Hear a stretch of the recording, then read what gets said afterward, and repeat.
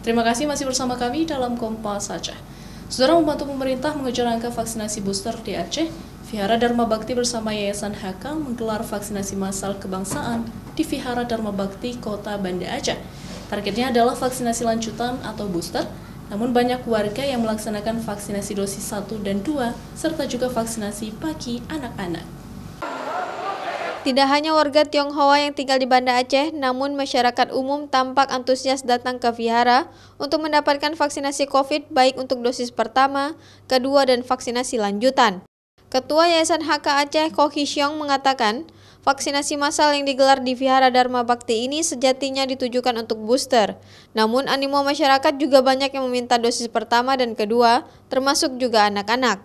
Siapa saja boleh datang untuk mendapatkan vaksinasi COVID-19 di rumah ibadah Vihara Dharma Bakti Banda Aceh ini.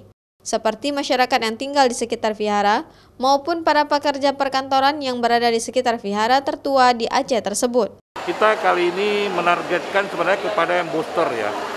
Tapi berhubung ada kesempatan untuk anak-anak ya kan. Jadi kalian anak-anak pun kita ajak untuk melakukan vaksin meskipun vaksin pertama dan vaksin kedua.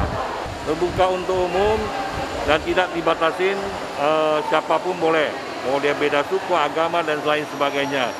Sementara itu, vaksinasi COVID-19 massal kebangsaan juga berlangsung bersama umat Tionghoa yang melaksanakan ibadah sembahyang mereka. Namun pelaksanaan vaksinasi juga terlaksana dengan target peserta vaksinasi adalah warga Banda Aceh dan sekitarnya. Jadi kita tidak fokus untuk umat e, budak kita sini aja di wihara ini, tapi seluruhnya. Nah, makanya kita lihat yang hadir sini ini e, berbaur, ada yang Kristiani juga ada, ya kan. Kemudian dari ibu-ibu yang Muslim yang tadi kita juga ada. Nah, jadi harapan kita ya semuanya lah kita tidak bedakan, walaupun ini di tempatnya e, orang katakan ya wihara ya, nah, tapi yang kita pakai adalah ruang untuk serbaguna. Pemerintah Aceh terus mengejar capaian vaksinasi COVID di tengah kenaikan kasus COVID-19 di Aceh.